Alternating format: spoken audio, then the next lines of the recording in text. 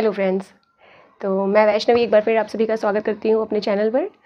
तो आज किडोज़ को कुछ समझाना है। छोटे छोटे लिसनर्स जो हमारे हैं, उनको। असल में एक छोटी सी कहानी है। दो सिबलिंग्स थे भाई बहन थे लाइक एक घर पे दो भाई बहन थे। तो दोनों को जंक फ़ूड बहुत पसंद था। ठीक है? लेकिन जो बहन थी, उसका नाम था रिया और भाई का नाम था रोहन। दोनों को ही जंक फ़ूड बहुत पसंद था, पर उसके बावजूद भी रिया जो थी, वो अपनी मम्मा की बात मानती थी और ज़्यादा जंक फ़ूड नहीं खाती थी। बजाय कि रोहन जो था, वो ही was fond of junk food तो वो जंक फ़ूड ही माँगता था, नहीं तो रोता था। और कुछ नहीं खाता था। तो ऐसे में क्या हुआ? चलता रहा चलता रहा मम्मा समझाती रही डांटती रही थोड़ी बहुत पिटाई भी करी पर कोई फ़र्क नहीं पड़ा।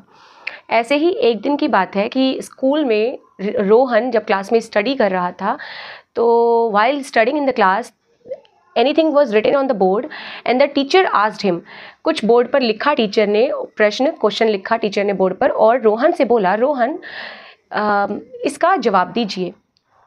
तो रोहन ने उसका जवाब गलत दिया। और क्वेश्चन बोर्ड में क्या लिखा था? Who is the father of the nation this was the question on the board कि हमारे राष्ट्रपिता का नाम क्या है? राष्ट्रपिता है ना हमारे, उनका नाम क्या है? तो अब रोहन ने उसका गलत जवाब दिया। अब ऐसे में क्या हुआ? टीचर बहुत गुस्सा हुई कि रोहन पढ़ने में कमज़ोर होता जा रहा है दिन पर दिन, अब इसका कहीं ना कहीं इसको बैड बैड इंप्रेशन इसका आएगा रिज़ल्ट पे। तो उसने उसके पेरेंट्स को बुलाया और उससे बातचीत करी। अब जब उसने बातचीत करी उसके टीचर ने उनसे बातचीत करी तो ऐसे में टीचर ने क्या करा? टीचर ने उसके पेरेंट्स को ये बताया कि भाई, इसके ऊपर ध्यान दीजिए क्योंकि ये गलत पढ़ाई मतलब अब ये पढ़ाई ढंग से नहीं कर रहा है। तो उसकी मम्मा ने स्कूल में ही उसको डांटा कि मैं तुमसे बोलती थी ना कि पढ़ाई पर ध्यान दो, तुम नहीं दे रहे हो, देखो क्या हो रहा है। तो उससे जब वहाँ पर उसकी मम्मा ने वही क्वेश्चन पूछा कि who is the father of the nation तो उसने जवाब दे दिया, महात्मा गांधी। अब उसकी मम्मा ने कहा, जब तुम्हें आंसर पता था तो तुमने टीचर को जवाब क्यों नहीं दिया? तो उसने बोला, रोते हुए, कि जो बोर्ड पर लिखा था, मुझे दिख नहीं रहा था। ऐसे उसने बोला। अब क्या हुआ?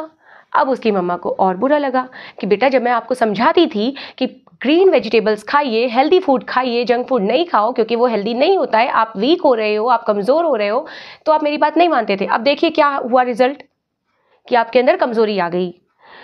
तो एट द एंड क्या हुआ कि रोहन को अपनी गलती रियलाइज़ हुई, उसने अपनी मम्मा से टीचर से सॉरी बोला, माफ़ी मांगी और उसके बाद उसने अपनी हैबिट्स को सुधारा जंक फ़ूड को अवॉइड करा और हेल्दी फ़ूड को इन करा। और ऐसे ही करके वो भी वापस से अपना इंटेलिजेंट बन गया, अपनी बहन की तरह। तो इस स्टोरी को समझाने का बताने का मेरा मेन मोटो यही था कि आजकल जो बच्चे हैं ना, वो they are fond of junk food like देखो, मैं ये नहीं बोलूँगी, मैं भी खाती हूँ, पर इन अ लिमिट मैं खाती हूँ बट लिमिट में। तो बच्चों का क्या है, वो ज़िद करते हैं तो पेरेंट्स कहते हैं, सुनता नहीं है। तो खिला सुनता नहीं है तो उसे सुनाओ। वो आपको सुनना चाहिए, आप उसको नहीं। क्योंकि इस तरीके से तो आप उसकी आज की ज़िद पूरी कर रही हैं, लेकिन उसका भविष्य तो ख़राब हो रहा है। कितनी बीमारियाँ फैल रही हैं, जब वो अंदर से उसका इम्यून सिस्टम वीक रहेगा, कमज़ोर रहेगा तो आगे वो सर्वाइव कैसे करेगा? आप तो ज़िंदगी भर उसके पीछे नहीं रहने वाले हैं ना। कभी ना कभी तो वो अपने लिए खुद खड़ा होगा या खड़ी होगी। तब क्या होगा उसका? तो प्लीज़ पेरेंट्स बच्चों को अपने अकॉर्डिंग चलाइए ना कि बच्चों के अकॉर्डिंग आप चलिए। ज़रा से बीमार होते हैं छुट्टी कर दी गई। ज़रा सी छींक आई छुट्टी कर दी। डॉक्टर के पास लेकर गए तुरंत क्यों हो रहा है ये? क्योंकि डाइट हेल्दी नहीं है डाइट प्रॉपर नहीं है। सो so, प्लीज़ इन चीज़ों पर ध्यान दीजिए अपने बच्चों को एक हेल्दी लाइफ हेल्दी लिविंग्स दीजिए और उनका ध्यान रखिए। Thank you so much